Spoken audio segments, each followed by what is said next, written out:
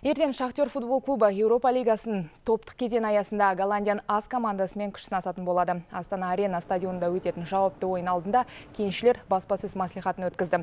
Жарақат алған футболшылар жоқ. Командан бас бапкері Виктор Кумыков ертең жасыл алаңға тек мықты аяқ доп шеберлер шығаратын жеткізді.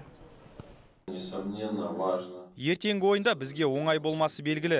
Дик адвокат баптайтын командалар әлсіз болып көрген жоқ.